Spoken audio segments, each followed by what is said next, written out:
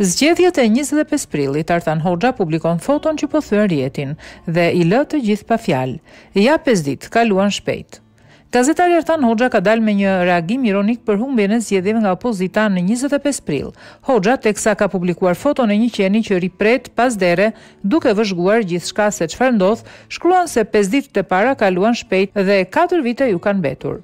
Ja, pesë ditë kaluan shpejt, edhe katër vite kanë mbetur, shkruan Hoxha në përshkrimin e fotos.